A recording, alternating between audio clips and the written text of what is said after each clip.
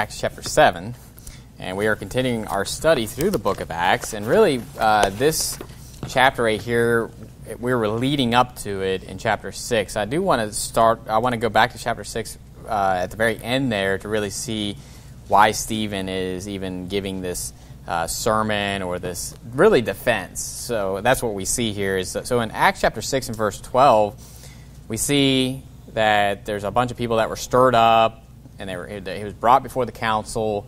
Uh, basically, false accusations were brought against him and all this stuff. So, in verse 12 of cha- Acts chapter 6, it says, And they stirred up the people and the elders and the scribes and came upon him and caught him and brought him to the council and set up false witnesses, which said, This man ceaseth not to speak blasphemous words against this holy place and the law. For we have heard him say that this Jesus of Nazareth shall destroy this place and shall change the customs which Moses delivered us.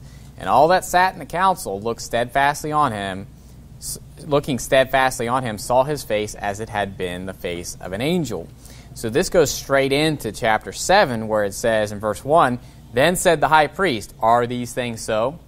So uh, this, remi- this is just so reminiscent of what happened with Jesus. So remember, Jesus is brought to the high priest and to all the you know, scribes and all that stuff and they bring up these false witnesses. And they bring all these ones up, and none of them agree, except for these two that didn't really agree, but they were close, right? Where it was basically saying, I will destroy this temple, and in three days I'll raise it up. It's interesting because they keep talking about this temple being destroyed. That's all they care about is their temple and the building and all that stuff. But uh, so it's very reminiscent of that as far as Jesus and you know what happened to him, the false accusations. And so, but the one thing that I want you to see with this, before we get into his sermon or to his, to his defense, pretty much, the, the oration that he gives, is the fact that Stephen, I know that he's filled with the Holy Ghost, and I know that it's under the inspiration of the Holy Ghost that this is written, that this is the Word of God, but I don't believe that the Holy Ghost was just telling him what to say, meaning like he was just speaking in his ears, and then he just started basically spouting off what the Holy Ghost was talking to him. I believe what he does here is, is straight off memory. So he knew the Bible, and he just basically gives this rundown from Abraham all the way down to Solomon of all this history.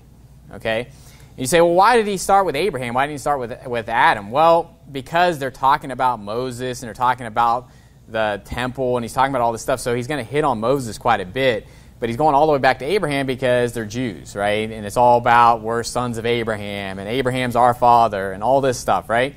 And so he's basically, you know what he's doing is he's going to school them. Because they're basically looking at him like, you know, you're speaking blasphemous words against this place, against Moses, and all this stuff. And he's going to show them that he knows the Bible, that he, he's not just someone out there just spouting off things, but he actually knows the Bible. And I challenge anyone, unless you memorize the chapter, you know, to have that kind of knowledge where you can just start going from Abraham down to Solomon and just start pointing out all these facts and just telling the story perfectly. Okay? Perfectly, okay? Meaning that he just he's quoting some of the stuff is direct quotes. Some of the stuff is just kind of paraphrasing what's going on, but he has some Bible knowledge. And this kind of remind it just makes me think of the fact that when we're brought before the judgment seats and we're brought before synagogues and we're brought before you know magistrates and all this stuff in which it says that it was going to happen to them but it also applies to us in the future okay? Meaning that this has happened throughout time. You know when the catholic church for example was persecuting christians they were brought before the magistrates and they had to answer. You think of william tyndale who was burned at the stake and you know he basically gave his defense. Now they ultimately killed him but you know, the same kind of thing. And this is throughout all of history, you know, in the New Testament that we're dealing with this. But like I said, the Holy Ghost, you can be filled with the Holy Ghost, but the Holy Ghost can only bring to remembrance that which you've already had in memory, right? And so uh, I want you to think about. Let's go to 2 Timothy chapter 2. 2 Timothy chapter 2. Because they're bringing up, and, and it's interesting because it talks about these these, uh, you know, vain babblings and profane babblings and all this stuff. And that's literally what they're bringing up. They're bringing up all this stuff. They're saying, well, you know, he's saying that Jesus of Nazareth is going to destroy this temple. And like I said, I already touched on that. You know, Jesus said that there's not going to be one stone left upon another, but it didn't say that he was literally going to come down and do it himself, right? Obviously, we know from history that Rome is the one that came in and actually did that. Now, I believe it was of God. I believe it was the judgment of God. He just used Rome to do it. But in 2 Timothy chapter 2 and verse 14, it says, Of these things put them in remembrance, charging them before the Lord, that they strive not about words to no profit, but to the subverting of the hearers. Study to show thyself approved unto God, a workman that needeth not to be ashamed, rightly dividing the word of truth. But shun profane and vain babblings, for they will increase unto more ungodliness. So we're supposed to study to show ourselves approved unto God, a workman that needeth not to be ashamed. See, Stephen is here and he's standing before the judgment seat, but he's not ashamed. Remember, they saw his face as it had been the face of an angel. Right? He wasn't ashamed. He wasn't like his countenance wasn't just like dropped because, you know, he's at this judgment seat. He knows that he's righteous. He knows that he's doing right and he knows that he believes right. And he's about to throw down. Okay, and that's not a biblical term, but that's the way I'm going to say it. He's about to throw down on these guys on some biblical truth. Okay? And and go to 1 Peter chapter 3 because it's something that we need to be studying to show ourselves approved unto God. We need to be studying the Bible, memorizing the Bible, because you never know when you're going to need to make your defense. Now, you say, well, you know, yeah, in the Great Tribulation, if we're here for that, then, you know, and we're brought before judgment seat. Well, how about this? What if the day comes when they say you can't homeschool your children? You're going to have to put them in our public school. Do you have the Bible to prove that it's your right? And, you know, you think about vaccinations, you think about uh, anything like that. You think about even the right to bear arms. You say, well, you know, the Constitution, how about Jesus said, buy a sword? You know, when it, when it comes to anything, when, when, when it comes to the world that we live in, they're constantly wanting to try to oppress any, everybody, really. But ultimately, they're trying to press Christians. You know, that's what, that's what the devil wants to do. Uh, the principalities and the rulers of darkness of this world. But are, do you have an answer? Would you be ready if you were standing before a magistrate and the magistrate said, hey, you know, we're, we're, we have you gathered here because you spank your children? You th- and you say, well, you know, is that going to happen? And I think everybody here already knows that that could happen. That there's already states that are taking away children because of that and other things. And so, uh, but listen, do you have the Bible? Could you, if you were standing before them right now and you didn't have the Bible in your hand, could you say, you know, he that spareth the rod hateth his son, but he that loveth his son chasteneth him betimes. Thou shalt beat him with the rod and shalt deliver his soul from hell. Would you have that on your mouth? You know, would you have that at your at your disposal, right? Because what I'm talking about right here and what you're dealing with with Stephen is he didn't have it just he didn't have a scroll out there and be like, let me read you from Genesis, you know, down to uh, down to the kings of what's going on. Okay, he didn't have the you know, and obviously back then, and it's kind of silly because obviously we're very blessed today because the printing press was coming out around the time the King James Bible was translated, and so to have it you know at your fingertips like this is a is a fairly new thing, you know, to have it right there at your fingertips, and we're blessed to have it that way. But you know, Stephen you know, it talks about him being full of faith and of the Holy Ghost, and we're really seeing it being proved as far as his knowledge of the Bible. Uh, but in 1 Peter chapter 3, I had to turn there. Uh, in verse 14, it says, But in if ye suffer for righteousness' sake, happy are ye, and be not afraid of their terror, neither be troubled, but sanctify the Lord God in your hearts, and be ready always to give an answer to every man that asketh you a reason of the hope that is in you with meekness and fear, having a good conscience, that whereas they speak evil of you, as of evildoers, they may be ashamed that falsely accuse your good conversation in Christ. And it's exactly what they're doing to Stephen. But he sanctified the Lord God in his heart. And he was ready to give an answer to every man that asketh him a reason of the hope that is in, in him. And so we need to be ready for that. The Bible says in Proverbs chapter 15, verse 28, it says, The heart of the righteous studieth to answer, but the mouth of the wicked poureth out evil things. And it talks about in Colossians chapter 4, let your speech be always with grace, seasoned with salt, that you may know how you ought to answer every man. And so what I'm saying with this is that Stephen was prepared. Stephen wasn't going in this as a novice. He was ready. And what it comes down to is that the Bible says not to premeditate what you're going to say. Okay, so he didn't just like have this thing memorized. Does that make sense? He didn't have this dissertation that he's about to give, or this, this basically where he's about to throw down on them. This was basically he had it, he had a lot of Bible memorized and he knew it, but what the Holy Ghost was doing was bringing it to, to remembrance.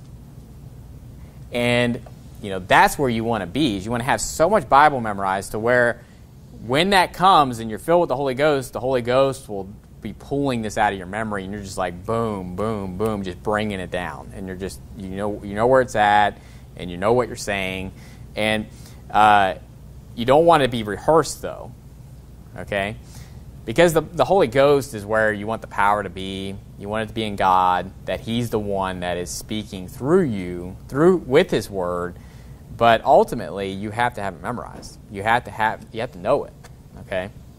So going into this, uh, like I said, you know, he's given a dissertation basically from Abraham down to Solomon with some other stuff in there, even going into Babylon. You know, them gonna they're gonna be taken captive in Babylon. He brings up a lot of stuff. And when I was writing this sermon, I was like, you know what I'm gonna do? I'm gonna go through this and I'm gonna cite everything that he says, and I'm gonna basically show you like, hey, here's where it's at. Here's where it's at. We'd be here forever. Okay, I started it, and I had like four pages, and I didn't get very far. I'm like, nope, that's not going to happen. so what I'm going to do is highlight it. I'm going to do highlights. So there's no way that I can go verse by verse through this and show you, okay, over here in Genesis chapter 12, over here in Genesis 15, over here in Genesis 17, you know, and show you all the references. But I'll say this, there is a reference for all this stuff. And so in your own study, you can do that. Um, but what I want to do is show some highlights. And what I really want to do is show you some things that Stephen uh, gives you a little more information about and some places where he just highlights some important things that uh, and maybe clarifies some things that maybe are a little more maybe a little ambiguous in the Old Testament, and I'll use that loosely, okay? Because what people say sometimes is ambiguous is just because they don't want to believe it, okay? But uh, the first thing I want you to see is what he says about Abraham here. Starting off in verse 2 there, he says, and he said, Men, brethren, and fathers, hearken. The God of glory appeared unto our father Abraham when he was in Mesopotamia, before he dwelt in Charran, and said unto him, Get thee out of thy country, and from thy kindred, and come into the land which I shall show thee. Then came he out of the land of the Chaldeans, and dwelt in Charran, and from thence, when his father was dead, he removed him into this land wherein ye now dwell. Now, the reason that I'm obviously starting here because this is where he starts, but um, one thing that when you're reading the Old Testament, when you're reading Genesis, go back to Genesis chapter 11 and 12. We're going to start at the end of cha- chapter 11 there. Is the one thing that we see here actually is Genesis 12, the, very, the first three verses there, is actually something that God said to Abraham before he left Ur the Chaldees. Okay? But you may not have noticed that because obviously it comes after chapter 11, right? When it talks about him departing from Ur the Chaldees and going into Haran. Um, but this shows you the clear progression. So basically, Stephen's clearing it up for you. He's basically uh, showing you, hey, God spoke to him when he was in Ur the Chaldees and said, Get thee out of thy country.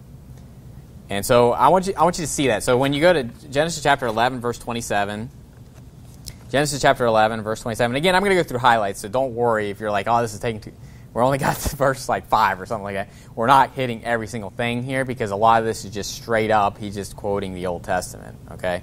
But in verse 27, it says this It says, Now these are the generations of Terah.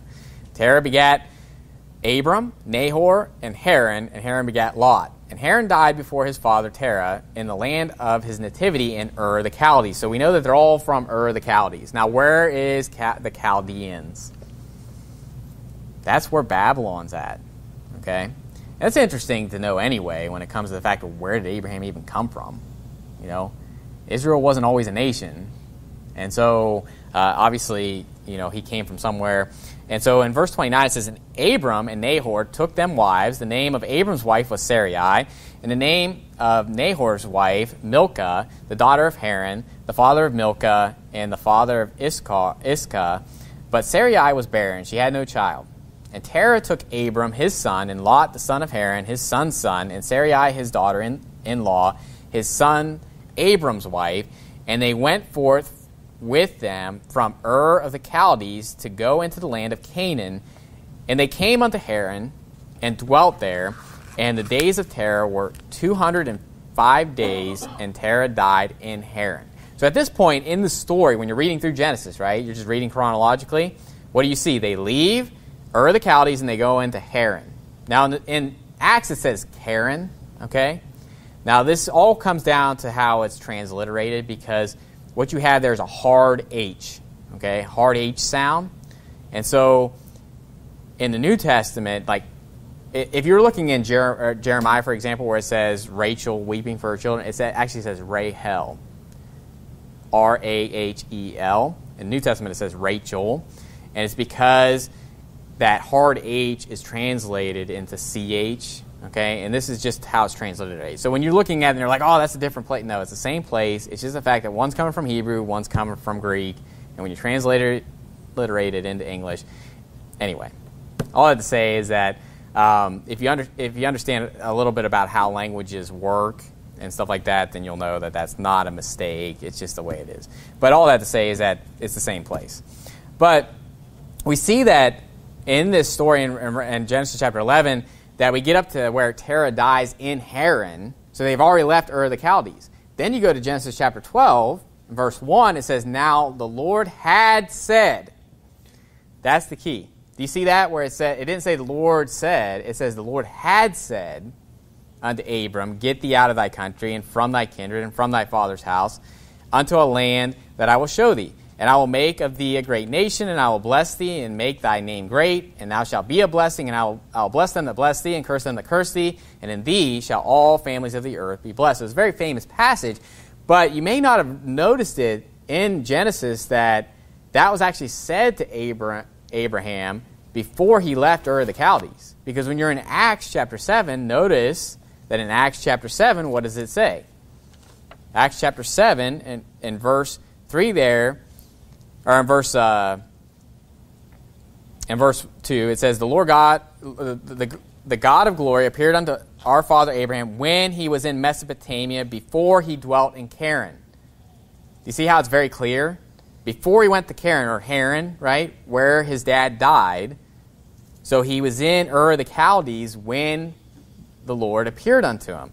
And then it says, and said unto him, Get thee out of thy country and from thy kindred. Where's that? Genesis chapter 12. But then it says, in verse 4, it says, Then came he out of the land of the Chaldeans. So then, it's after that, and dwelt in Charran. And from thence, when his father was dead, he removed him into this land wherein ye now dwell. So all that to say is that Stephen has that understanding, and you can see it when you read it, right? When you go to Genesis chapter 12 and it says, Now the Lord had said unto Abraham, right? The Lord had said unto him, Get thee out of thy country. So it's not like a progression like his, his father dies in Haran, right? And then the Lord said unto him, Get thee out of there and go to Canaan. He's just recapping and saying he did say this to Abraham. You say, why is that important? Because in Hebrews chapter 11 and verse 8, it says, By faith, Abraham, when he was called to go out into a place which he sh- should after receive for an inheritance, obeyed, and he went out not knowing whither he went. And notice that that was said to him before he left. And what was said to him? It says that the scripture foreseeing that he would justify the heathen through faith preached before the gospel unto Abraham, saying, In thee shall all nations be blessed. So they preached the gospel to him, and by faith he left. Right? So, and you say, well, that's just minute. I know. It's not that big of a deal, right?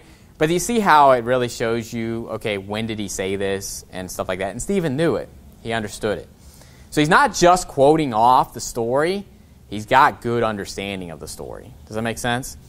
Now, going on, another highlight here and this is not really like a, like giving you more information, but it's really nailing it down that Israel was in Egypt being evil and treated for 400 years. Okay? Go to verse 6 there of Acts chapter 7. So keep your hand obviously in Acts chapter 7. It says, And God spake on this wise, that his seed should, so, seeds should sojourn in a strange land, and that they should bring them into bondage and entreat them evil 400 years. And the nation to whom they shall be in bondage will I judge said God, and after that shall they come forth and serve me in this place. Now, go down to verse 17 because it's going to talk about that again. So it says in verse 17, it says, But when the time of, of the promise drew nigh, which God had sworn to Abraham, the people grew and multiplied in Egypt, till another king arose, which knew not Joseph. The same dealt subtly with our kindred, and evil entreated our fathers. So who, who's the same? Egypt, right? Egypt. Evil entreated our fathers so that they cast out their young children to the end they might not live. And we know that story in Exodus chapter 2 uh, where they were killing all the children, all the male children, right? And that's why, you know, Moses was put into the ark and, you know, sent down. The ark made out of bulrush. bulrushes, not the ark that the animals were on. But uh, you say, well, why is this important? Because there's a lot of people, and they always just, I, I don't know necessarily the extent of why they do this, but they want to say for some reason that the children of Israel were not in Egypt for 400 years. And when they're calculating the age of the earth, they'll say that it was like 300 or 200 some years. And basically, that, that the 430 years, and go to, go to Genesis um, chapter 15 because it, this is, it says it in Genesis 15, but do you see how it's very clear that what nation are you talking about that's evil and treating them? It's Egypt, okay? It's not just that they're sojourning from Abraham till when they come out of Egypt, meaning like what they want you to think is that that 430 years is from Abraham to when they come out of Egypt, not from when they were in Egypt, like when Israel goes down into it and then they're there for 430 years. And they get some weird doctrines out there. They're like, oh, you know, the earth is almost 6,000 years old, therefore Jesus is coming back in two years or something like that. You know what I mean? Like they come up with these weird doctrines, but they're trying to fudge the numbers, right? As far as like how long the how old the earth is, where in reality the earth is almost 6300 years old, okay? So it's like at least, you know, like 200 some years past 6000, okay? You can't get around this. But what they do is they try to fudge these numbers and be like, well, you know, this is not really 430 but in Genesis 15 and verse 12, it says, And when the sun was gone down, going down, a deep sleep fell upon Abram, and lo, an horror of great darkness fell upon him. And he said unto Abram, Know of a surety that thy seed shall be a stranger in a, in a land that is not theirs, and shall serve them, and they shall afflict them that, them four hundred years, and also that nation whom they shall serve will I judge, and afterward shall they come out with great substance. And again, you don't really need me to show you this. And Stephen is really what he's doing there is he's linking that prophecy with what actually happened. okay, so you notice in, in Acts chapter 7, it talks about how their father, they're going to be evil and treated for 400 years. And then you go down when it's talking about Egypt and them being in Egypt, and it says evil and treated our fathers. Okay? And it's talking about that nation being judged and all this stuff. This all comes down to they don't want to believe Exodus chapter 12, where it says this. It, it says in Exodus chapter 12 verse 40, Now the sojourning of the children of Israel who dwelt in Egypt was 430 years. And it says, And it came to pass at the end of the 430 years, even the self same day, it came to pass that all the hosts of the Lord went out from the land of Egypt. Not only was it 430 years that they were in Egypt, it was literally to the day. The self same day they went in, the self same day they came out. It's so perfectly 130 uh, year, or 430 years. That's ridiculous. And it comes down to a misunderstanding of Galatians, where it talks about how the, the promises of Abraham, and it talks about how uh, the law, which was 430 years after, cannot this and all that should make the promise of none effect. But it talks about how it was confirmed in Christ, and that was confirmed in Jacob when he went in. Okay? And so, uh, but all that to say is that when you look at this, do you see how it clears that up a little bit to where you Genesis 15, I guess you could say, well, you know, he's just talking about in general they're being evil inflict, you know, evil and treated like since that point where he sees this vision. You know what I mean? It's really a stretch. Okay, you're stretching it a lot. But when you go to Acts chapter seven, it's it's really hard to make that stretch because Stephen's making it very clear that he's talking about them being in Egypt and being evil and treated for 400 years in Egypt. Not just like, well, Egypt is the world power and they're evil and treating them, even though they're not even near them. Okay? Now, uh, going back to Acts chapter 7 there in verse 14, This is something I didn't really I didn't notice until I was doing this sermon. Actually, um, I could put this under the so-called contradictions. Okay, um, but it's interesting what Stephen says here about how many people came into Egypt. Okay, and this is where you got to really you got to read every word. You got to understand who he's talking about and what he's saying. Because what he's going to say is that 75 people come into Egypt and what it says in the Old Testament is 70 people. Okay? Now, let's see what he says here. So in verse 14 there it says, Then sent Joseph and called his father Jacob to him, and all his kindred, threescore and fifteen souls. So Jacob went down into Egypt and died, and he and our fathers. Okay? So, threescore and fifteen, what is that? Well, 3 scores 60, add 15 to that, you have 75. Okay? Now look at Exodus chapter 1. Go to Exodus chapter 1. This isn't the only place you can see it, but Exodus chapter 1 obviously shows you this number. Actually, I was just I was going down this list and just kind of showing the citations at this point, and I'm like, wait a minute, 75 and 70 are two different numbers there. so, contradiction. Close your Bibles, go home it's all a lie. No, it's it, you know people that get hung up on this type of stuff right here really need to get rooted and grounded because this would just be silly if you were like, oh man, it's, it's messed up. In Exodus chapter one and verse five, it says this: and all the souls that came out of the loins of Jacob were seventy souls, for Joseph was in Egypt already.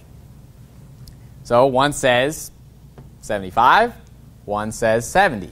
Well, let's read this carefully. Exodus chapter 1 and verse 5, what does it say? And all the souls that came out of the loins of Jacob were 70 souls. These have to be his children, okay? That come out of your loins, okay?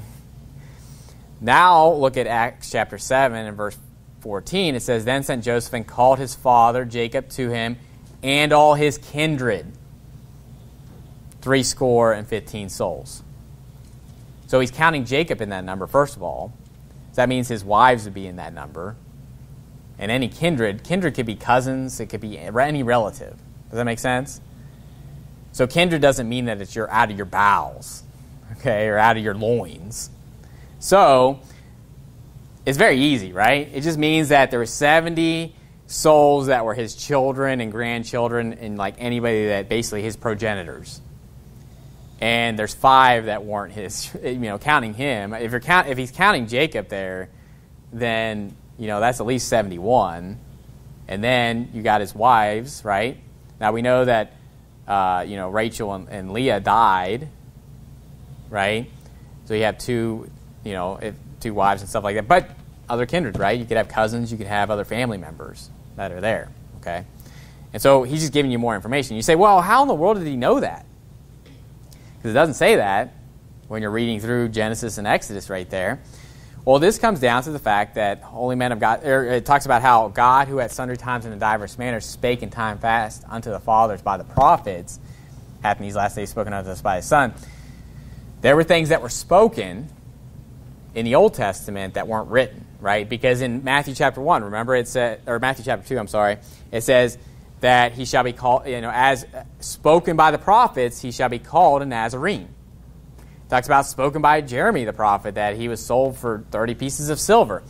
Both those things were not written, you know, the one was not written in Jeremiah, and nowhere in the Old Testament can you see where it says that he was going to be called a Nazarene. But it says they were spoken, okay? And so what I believe is in the New Testament, you know, when the New Testament was completed and everything, everything that was spoken in the Old Testament that wasn't written that's pertinent or that, that is anything that we need is written in the New Testament. That includes Enoch. Right? Enoch prophesied that the Lord cometh with ten thousands of his saints. Nowhere in the Old Testament is that mentioned. He's the seventh from Adam, so we're talking about before Noah that this was prophesied. And it was spoken though. And it was it was known that, that, that he said that, but it wasn't written down until Jude. Okay? So Stephen, you know, I believe that it was known, it was spoken that there were 75 souls that came out. And you say, why is that really that pertinent? Well, it's in the Bible, so I believe everything's pertinent for some reason, you know. We just may not know why. That's that's good to know. Okay? But all that to say is that yeah, when when those that were writing down scripture, the apostles and all that stuff, they were getting revelation, but a lot of that revelation and a lot of the stuff that we see written in the New Testament was probably a lot of stuff that was spoken that wasn't written. Right? To where you, because the, the wrong idea is to go into the Old Testament thinking, well, only what's written is what they knew. That's a foolish way of going into it.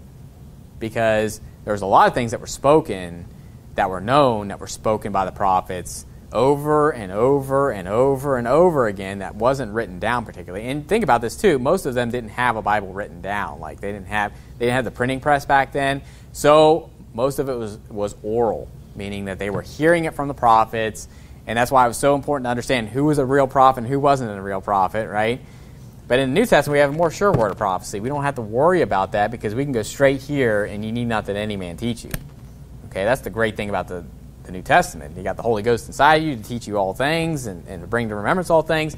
And so you don't need to worry about, well, is Pastor Robinson a real prophet? And does he really tell me what's the Word of God? Or I need to discern between that. And all you need to do is go to the Bible and see whether that's what it says. Okay? So, uh, but he also gives some more information about Moses. So here's where he, we saw that with the 75 souls. That's interesting. You say, well, that doesn't mean, you know, that's not pertinent. You never know. Sometimes passages in the Bible where I'm just like, ah, that, you know, that's inconsequential. Later on, I'm like, man, I'm glad that's there. It'll actually prove like some major, you know, like to help like debunk some stupid false doctrine down the line or something like that. You know what I mean? And you won't know that until later. Okay genealogies. I mean, First Chronicles, some of those chapters, the first 10 chapters, are like, what is that? How is that pertinent? It's like, well, it actually helps in some cases when you're proving something. So in Acts chapter 7, verse 20, we're going to see some, some more information about Moses. And again, this goes into that same thing like I was just saying, where this is a lot of this stuff is not written in Exodus. So we don't know this from reading Exodus, but Stephen's saying it. And I believe it's true. I believe it. You know, he's under the you know inspiration of the Holy Ghost. He's filled with the Holy Ghost, and he's given us information. But again, I think it's basically information that was spoken by prophets down the line, and now it's finally being written. Okay, so in verse twenty it says, "In which time Moses was born and was exceeding fair and nourished up in his father's house three months, and he went, and when he and when he was cast out, Pharaoh's daughter took him and nourished him." For her own son. Now, when you go to Exodus chapter 2, and you can look there, pretty much that's all the information that we got as far as Moses when he's a child, or basically a lot about Moses, right? About, I'll read Exodus chapter 2 and verse 10, and then we're going to read the rest of this. Exodus 2, 2 and verse 10, it says, And the child grew, and she brought and, she brought him unto Pharaoh's daughter, and he became her son. And she called his name Moses, and, and she said, Because I drew him out of the water. And it came to pass in those days when Moses was grown that he went out unto his brethren and looked on their burdens, and he spied out an Egyptian, spied in Hebrew, one of his brethren. Okay? That's not a lot of information, but it's pretty much just when he grew, he went out to see his brethren's burden, and that's when the Egyptian that he ends up killing and hiding in the sand, right? And we see that he is, he was called the son of Pharaoh's daughter, right? The Pharaoh's daughter took him in, and she's the one that named him. Well, now look at Acts chapter 7 and verse 22. So we kind of already see that. We just read that to, uh, in Acts chapter 7 here. In verse 21, it talks about that same thing we read. But in verse 22, it says, And Moses was learned in all the wisdom of the Egyptians and was mighty in words and in deeds. So we didn't know that, right? We didn't know that. I mean, it makes sense, right? Because he's growing up as Pharaoh, you know, Pharaoh, Pharaoh's daughter's son, right? verse 23, it says, And when he was full 40 years old, it came into his heart to visit his brethren, the children of Israel. So, and I, and I say this because, and I always bring up this movie, but the Ten Commandments. This is why watching these movies will really mess up your your understanding of, you know, Bible characters sometimes. But in that movie, Moses didn't know that he was a Hebrew. He didn't know that he wasn't Pharaoh's daughter's son, right? And so, uh, but here it says that it came into his heart to visit his brethren. And notice this in verse 24, 24 it says, And seeing one of, his, uh, one of them suffer wrong, he defended him and avenged him that was oppressed and smote the, the Egyptian. Notice in verse 25, For he supposed his brethren would have understood how that God by his hand would deliver them, but they understood not. What we see here is that Moses knew that it was supposed to be by his hand to deliver the children of Israel out of Egypt. But see, when you're reading through the book of Exodus, did you see that? Did you see like where Moses knew that, and that's why he went out there trying to set them in order, and that's why he was out there visiting because he knew that he was supposed to be the deliverer. See, when you're reading through Exodus, you're kind of just thinking, well, you know, he figures that out at the at the burning bush, right? So it shows you that he was learned in wisdom of the Egyptians. He was mighty in words and deeds, so he was a, he was a mighty man, right? He wasn't just just some bystander, some participant. You know, basically he was a mighty man in, in Egypt. And Hebrews gives you more information about Moses too, talking about how he knew that he he wanted to suffer the afflictions of Christ and the people uh, uh, the, the, the afflictions of the people of God. And he esteemed the reproach of Christ greater riches than the treasures in Egypt, right? But see, none of that, like his mindset, does that make sense? Like, we don't understand his mindset when, about before he goes to flee into uh, Midian. Does that make sense? But his mindset is, I'm going to I'm gonna visit my brethren because, you know, I know that I'm supposed to be the deliverer. I know I'm supposed to be the one that's going to bring them out of here. And He's basically saying, I'm putting off all these riches, I'm putting off all this to suffer affliction with my, with my brethren. He knew that. He understood that, right? And so it's just interesting to see how all that, that fits together. Um, now, going down to in Acts chapter 7, verse 37 here.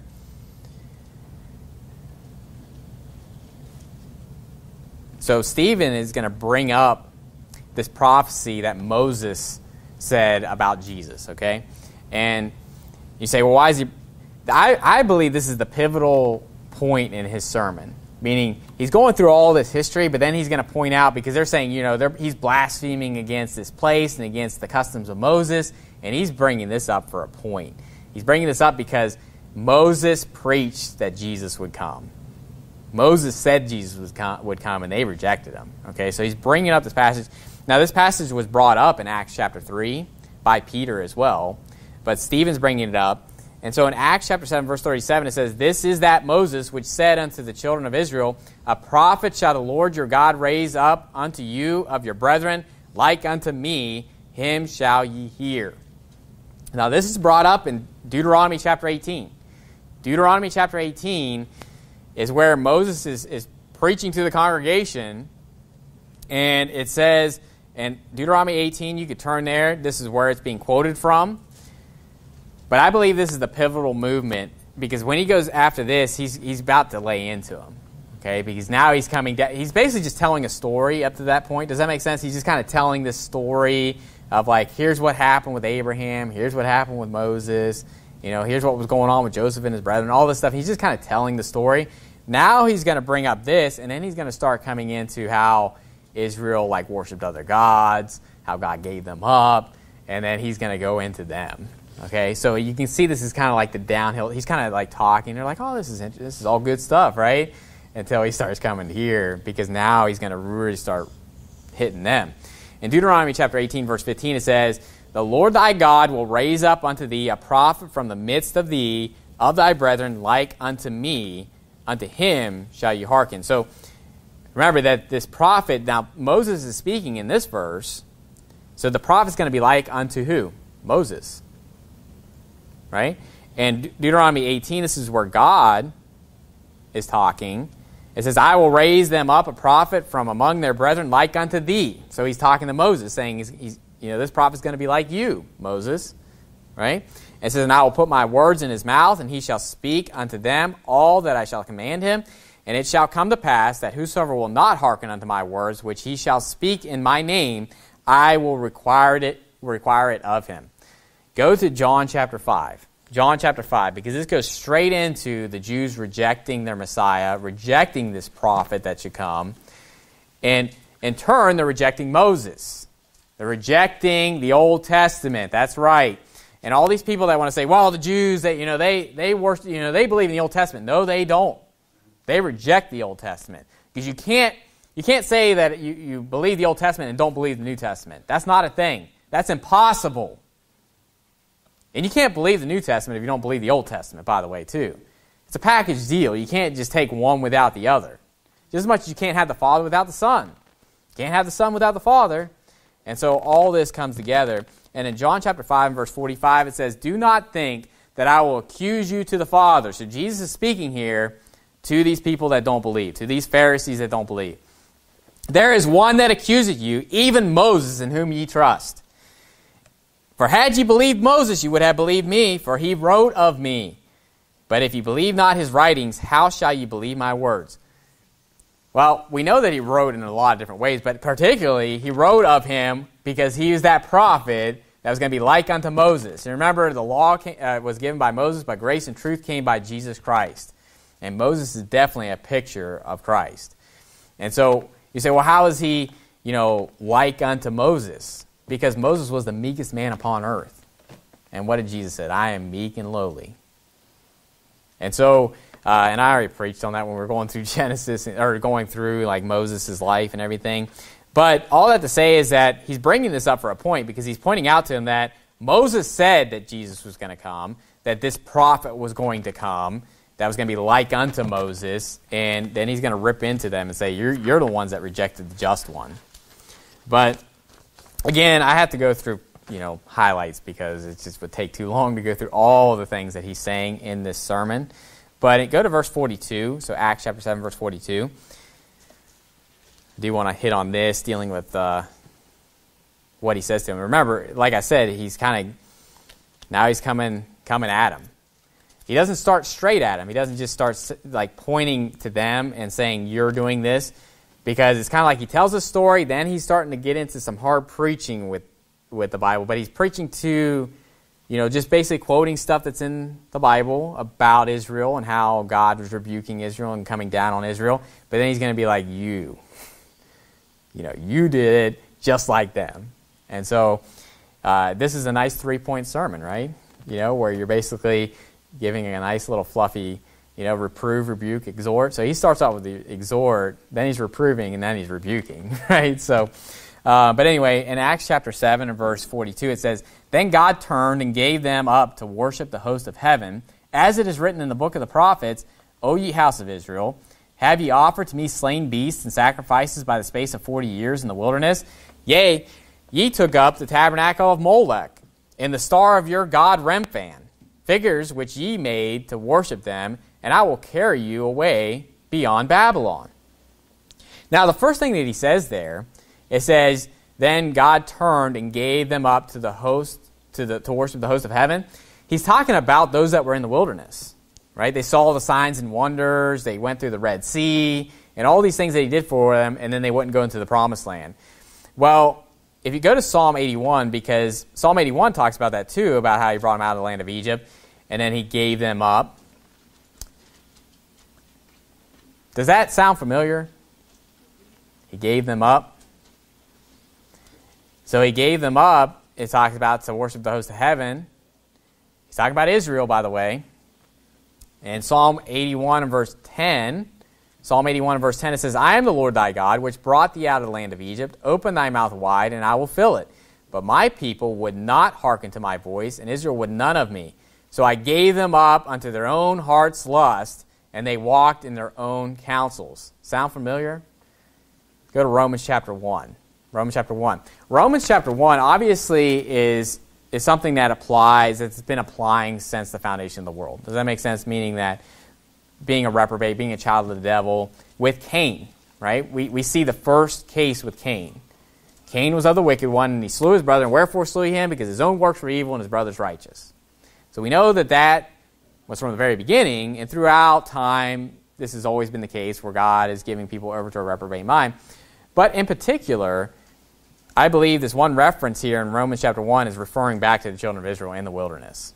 It says in, in, Romans 1, verse 24, it says, Wherefore God also gave them up to uncleanness through the lusts of their own hearts. Sound familiar? This is exactly what it says in Psalm 180 or Psalm 81 to dishonor their own bodies between themselves, who changed the truth of God into a lie and worshipped and served the creature more than the Creator, who is blessed forever. Amen. Well, how did they do that? Oh, I can think of a calf that they made, right? Make us gods. You know, Aaron, he tells Aaron, make us gods, right? And isn't that what Stephen brings up to about the fact that they tell Aaron to make us gods for this Moses, we what not what has become of him, right? So we see that that's definitely true. But then it says that it says, as it is written in the book of the prophets. And then he quotes off actually something that's written in Amos. So go to Amos chapter 5, verse 25. You say, well, is this something that gives us more information? Yeah, but really I just wanted to hit on this point. okay? Meaning that uh, this Star of Remphan is really, you know, their, their Star of David flag that they have. This is that's their, the star of their god Remphan. Okay? And so that's the only place I see anything, you know, where we're talking about, besides if you want to talk about Balaam, where it says there's going to become a star out of Jacob, talking about the Lord Jesus Christ, you know, well, obviously they don't believe in Christ, so that doesn't apply to them. But then you have the star of Remphan, their God. So uh, until they find out a better reason why they have that star, which they can't even tell you, I'm going with Amos, okay? I'm going with what, uh, what Stephen says here, okay? And so in uh, Amos chapter 5, verse 25, it says, Have ye offered unto me sacrifices and offerings in the wilderness 40 years, O house of Israel? But ye have borne the tabernacle of your, of your Moloch and, and Chiun, your images, the star of your God, which ye made to yourselves. Therefore will I cause you to go into captivity beyond Damascus, said the Lord, whose name is the God of hosts. So in Amos, it actually doesn't tell you that it's Babylon, but it basically says it's beyond Damascus which makes sense because Damascus is Syria's capital and Babylon is further out. Okay? And so that's obviously the Chaldean. So in the New Testament, he, he's, he's clarifying. So you see how Stephen not only knows the scriptures, but he understands it. He understands that that passage right there is talking about them going into captivity of Babylon. Okay? So, you know, you may not have known that, and you, you probably read through this and be like, yeah, he definitely knows the scriptures. But he not only knows it, he knows the sense of it, and he knows exactly what it's talking about. And so um, it makes you, I, you know, I'm sure you respected Stephen, right? I don't think anybody's going through this to be like, I don't respect Stephen for what he did there. But it should really show you that this man really knew the Bible. And you may think, well, back then they didn't really know that much and all that stuff. Yeah, right. I think Stephen knew more than I, I, would say Stephen probably knows more than I do or any other pastor I know. Okay? And I don't know that for sure, but good night, he has some knowledge here because I learned some stuff just reading this chapter. You know, and you know, studying out this, right? I've learned some things that I didn't see before. Okay? And so, uh, but going on from there, uh, in verse 44, and this is one of the longest chapters in, in the book of Acts. So obviously, uh, I'm usually going verse by verse, but the reason I'm not going verse by verse through this is because most of this is just straight up quotations of the Old Testament. And so, um, you know, it's not like I, am going to explain, you know, what he's trying to say. He's just literally kind of reading the Old Testament and quoting it off and telling you the story, right? So, in Acts 7, verse 44, it says this It says, Our fathers had a tabernacle of witness in the wilderness, as he had appointed, speaking unto Moses, that he should make it according to the fashion that he had seen, which also our fathers that came after brought in with Jesus into, into the possession of the Gentiles, whom God drave out before the face of our fathers unto the days of David. Again, you know, just on the surface, his knowledge in the chronological order of everything that's going on. He's like, there was a tabernacle in the wilderness unto David, and that's when David wanted to build the house of God, right? He wanted to build the temple. But it says, but then Solomon built it. And it's just line upon line, just showing you exactly what happened down the line. This is a great chapter to have memorized to just give you like the le- pretty much just the whole thing from Abraham down to Solomon, as far as what happened. And so, uh, but I want you to see here that it says in verse 45 there, which also our fathers that came in after brought in with Jesus into the possession of the Gentiles. This Jesus is talking about Joshua, the son of Nun. Okay? there's two places in the New Testament where Joshua is mentioned, and this is one of them. The other place is in Hebrews, okay? And uh, and you say, well, it's Jesus. Well, Jesus is the name of Joshua in the New Testament, okay? And I proved this another time when we were talking about the name of Jesus. I believe, I think it was Matthew chapter 1. But I was showing you that Joshua it was Jehoshua, and in another place it's called Jeshua. Okay, Jeshua, the son of Nun. And that's, that's in Nehemiah and all that stuff, talking, calling back to Joshua, and it calls him Jeshua. Well, if you just drop the H, you pretty much have Jesus in there. Okay, and in, in Greek, a lot of times you see Elias, Eliseus, Isaias. What is what when you're translating, it from Greek? What do you usually add at the end? An S. Okay, so you can see jo- Jeshua or Joshua in this. So anyway, I don't want to repreach that. I want to kind of prove it to you though with Hebrews chapter uh, four. So go to Hebrews chapter four because this is another place where it's mentioned. And again, it, would you say that that Jesus was there when they came into the promised land? Of course. Okay? You could say, well, he's the angel that brought them in. Okay? So I agree with that. Okay?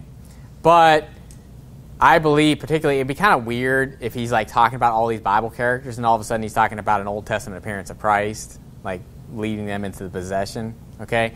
I personally believe this is talking about Joshua, the man Joshua, the physical man that led them into the promised land. Okay? And so, uh, but in Hebrews chapter 4, what it, what it says here in verse 8, it says, For if Jesus had given them rest, then would, no, then would he not afterward have spoken of another day? Now, to get context here, he's talking about the Sabbath, and he's talking about the rest of them going into the promised land. If you don't believe me, go back to ver, uh, chapter 3 there chapter 3, in verse 18, it says, And to whom swear he that they should not enter into his rest, but to them that believe not. So we see that they could not enter in because of unbelief. That whole chapter there, it's talking about how he, uh, for 40 years, suffered their manners in the wilderness, and talks about, you know, harden not your hearts. And it talks about how they provoked him. And it says all these carcasses fell in the wilderness and they would not enter in because of unbelief. It's talking about going into the, so that rest is talking about going into the promised land, into the possession, right? So when you go into chapter four, he's talking about the fact that well, on the seventh day when God rested, you know, it says that you know God rested from all His work. So the Sabbath has to do with doing no works, right? But then it says that, but then it, it talks about this rest where they're going into the promised land. But what he's making a point is saying that there's another rest coming, and that's talking about heaven. Okay? So there's, all, there's like three different rests that are mentioned. But in Hebrews chapter 4, when it says, For if Jesus had given them rest, then he would not afterward have spoken of another day. And it's talking about David would not speak of another day coming if that rest was like this eternal rest. Does that make sense? And so, you know, these two places is where you're talking about Joshua, Joshua the son of Nun. Now go to Colossians chapter 4 because I'm going to show you another place where it says Jesus, but it's not talking about Jesus, our Lord. Okay? Because people are named Jesus. Okay? Now I personally would not name my child Jesus. Okay? I know there's a lot, especially in the in you know Mexico and stuff like that, where they name their child Jesus and or, you know like Jesus. It's spelled that way. Okay, so um, not as it doesn't sound as bad in English, right? Because Jesus is different than Jesus, but that's how you say Jesus Cristo or Christos, you know, in Spanish. So it would be weird if you spoke Spanish that you're calling someone Jesus, in my opinion. Okay, I don't think you know, but we call people Joshua. We don't take it that second thought, right? It's just the fact that uh, some names ha- are the same name; they're just different derivatives of it. Did you know that Jacob and James are the same name? I didn't know that for the longest time. It's funny because my cousin's name is James Jacob, and so it's literally the same name over. Just it's just a different form of it. So Jesus, Joshua are the same name, just as much as Jeshua, Jehoshua, and Joshua are all the same name. It's just different forms of it. Okay, and so, but in Colossians chapter four and verse eleven, it says, "And Jesus, which is called Justus." Who are of the circumcision, these only are my fellow workers unto the kingdom of God, which have been a comfort unto me. So notice that there's another man named Jesus. You say, well, wasn't Jesus, you know, our, you know, it's just the name of our Savior. It says his name shall be called Jesus, for he shall save his people from their sins, because Jesus, Joshua means Savior. And I did a whole, like, kind of sermon on this. So it's just what the name means, okay? A lot of names mean stuff, okay? Um, and this isn't a sermon on, like, meanings of names, but throughout the Bible, when people would name people something, it, would be like, well, we're going to call you Israel because you have power with God, or we call you Edom because you're faint, you know, and there's, there's a, a, a thing associated with it.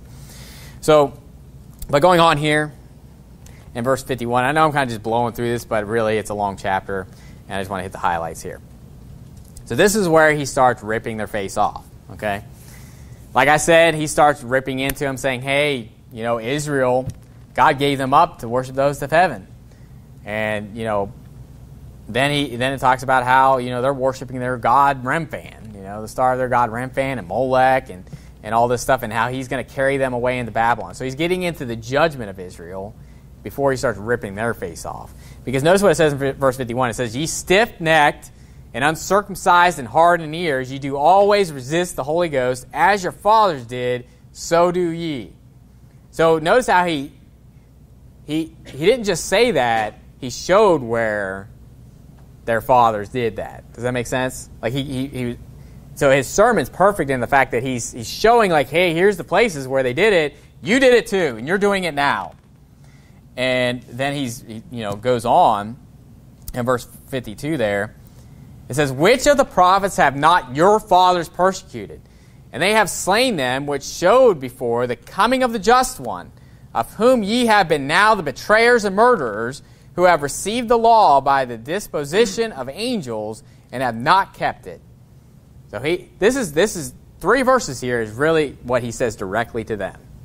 And then it goes on from there where they're going to end up killing them. But he just rips their face off. Now, there's a lot of things you can see in this statement that he says to him. He says, Ye do always resist the Holy Ghost, as your fathers did, so do ye. This flies in the face of Calvinism. Because their text verse, which, it, and this is where it comes into the fact that you can't do anything, you don't have free will, right? You can't resist. Uh, irresistible grace, right? Well, they'll go to Romans chapter 9 and verse 19 where it says, For who hath resisted his will? And it's a question that Paul's bringing forth this question. You may say, you know, who hath resisted as well? And, and you know what Paul's answer is that? He says no. He says nay. That's not a yes or no question. okay? Basically, what he's saying is that's a, that's a horrible question. Like, that, that's a dumb question, right? And this proves to you that you can resist the Holy Ghost. And he's not only saying that the people that are there are resisting the Holy Ghost, he says, your fathers did too. Okay? So they were resisting the Holy Ghost before they were even there. But it throws, throws that out, right? But then he also says, he talks about who have received the law by the disposition of angels. Now, this is brought up actually a lot in the New Testament, talking about how, you know, they got the word of God, right? And you can think about this. We went through the whole book of Daniel, and some of that is where angels were giving visions and telling Daniel what's going on. And so, but in Hebrews chapter 2, Hebrews chapter 2 talks about this too. In Hebrews chapter 1, Hebrews chapter 1 is pretty much just stating that Jesus is better than angels. okay? That's kind of the summary, right? Unto which the angels said he at any time, Thou art my son, this day I have begotten thee. Unto which the angels said, said he, you know, sit down on my right hand until I make thine enemies thy footstool. Are they not all, all ministers? Uh, ministering spirits sent forth to minister for them who shall be heirs of salvation. Then it goes straight into chapter 2, and he's basically saying in chapter 2 and verse 2, it says, For if the word spoken by angels was steadfast, and every transgression and disobedience received a just recompense and reward, how shall we escape if we neglect so great salvation, which at the first began to be spoken by the Lord, and was confirmed unto us by them that heard him? Who are we talking about? We're talking about Jesus, right? So in context, he's basically saying, well, back in the day, you know, angels would come and tell you the word of God, you know, and, and speak to the prophets and do all these different things. But now, how much more are you going to be judged because you've heard it from the Lord? And it says, first spoken by the Lord and was confirmed unto us by them that heard him, right? And then it says, God also bearing them witness, both with signs and wonders, with and with diverse miracles and gifts of the Holy Ghost, according to his own will. And I preached all about this when dealing with the apostles and how they were confirming the word with signs and wonders. And so, what, what are we talking about? The Word of God. And the Word of God was given to Jesus, and we heard it straight from the mouth of the Lord. But notice that disposition of angels, right? It says that you received the law by the disposition of the angels and have not kept it. Uh, going on there in verse 54, so they didn't like that. they didn't like being rebuked. And in verse 54, it says, when, ye heard, when, when they heard these things, they were cut to the heart, and they gnashed on him with their teeth. So they just got schooled. Okay, so he's basically showing, hey, I know the Bible. By the way, look at all these, you know, just some examples of Israel disobeying God and God punishing them. And by the way, you're just like them. You're just like them because you're resisting the Holy Ghost just like they did and, you know, just throwing down on them. And they did not like that. And it says they gnashed on him with their teeth. Go to Psalm 35. Psalm 35. Now, you may say, well, were they biting him? You know? I, I believe actually this is more of a figure of speech of where they were pretty much just like saying all kinds of things to him. They were probably cursing, cussing him out, like just, you know, saying all kinds of crazy stuff to him. Maybe they did bite him, but I don't know. I think that's a little, that'd be a little strange. You know, they're literally chomping on his arm or something like that. I believe this is an expression of like where they're basically gnashing on them with their teeth, meaning by what they're saying.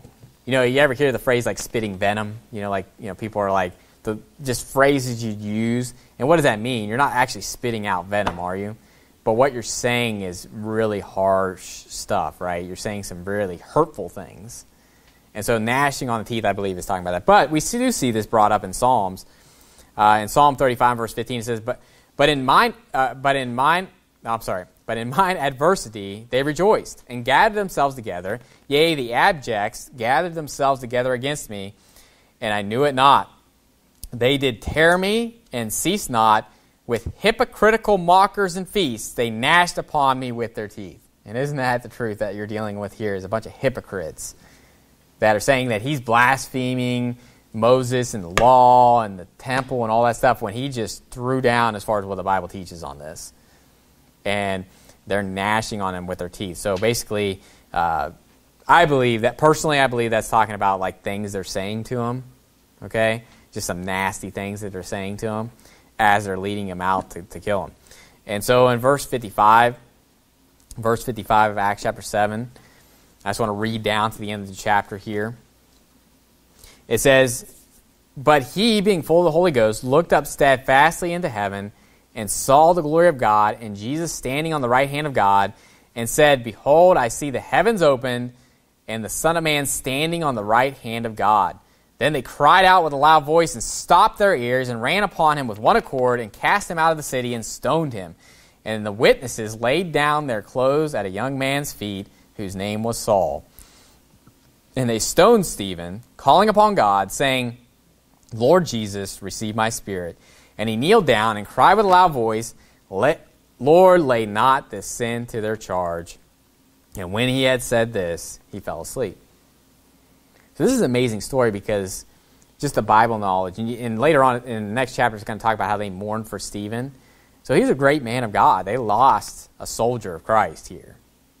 But obviously, there, there's, there, there's a lot of good that came out of this, meaning that it, it spread everybody out. So this is actually a very good thing in the sense of like the cause of Christ that this happened. But uh, I want you to see that Jesus is standing at the right hand of God. That's something you don't see anywhere else, right? You see Jesus sitting at the right hand of the Father, like constantly. He keeps bringing that up. He's set at the right hand of the Father. He's sitting at, he's seated at the right hand of the Father. He keeps bringing that up. But here he's standing, and it says it twice. It says that he saw Jesus standing on the right hand of God, and then it says that he saw the Son of Man standing on the right hand of God. And obviously, it's the same person, but um, but it's just very clear that he's standing; he's not seated. And this makes me think of the fact that in Psalm 116 it says, "Precious in the sight of the Lord is the death of His saints," and meaning that Jesus is normally seated, but when someone dies for Him, he he stands up. So that's a big deal. I mean, I, I think about that and just the fact that uh, how much he cares and like he's taking notice of it. Like he's not like this is passing by him like oh it's just another day in the neighborhood. No, our Savior stood up while he was being stoned, and so that's a big deal. Also, we see that witnesses laid down their clothes at a young man's feet whose name was Saul. Now we're going to see later on, obviously, that this is Paul. And and you, you, may think, you know, later on when he says, lay not the sin to their charge, you say, well, you know, these people are all a bunch of reprobates. Saul wasn't. And so, yeah, I mean, some of them weren't, but, you know, I, I'm personally glad. I'm sure Paul's personally glad that he prayed that prayer before he died that says, don't lay this sin on their charge because Paul's one of those men that was standing there, right?